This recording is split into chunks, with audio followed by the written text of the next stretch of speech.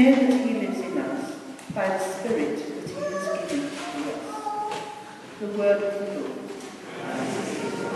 Lord.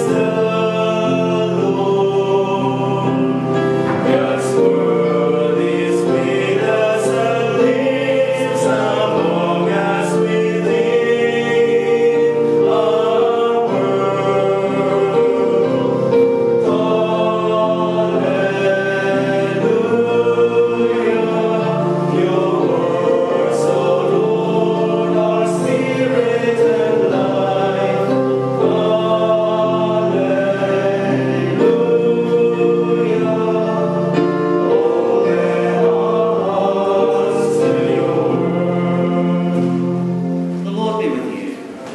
A reading from the Holy Gospel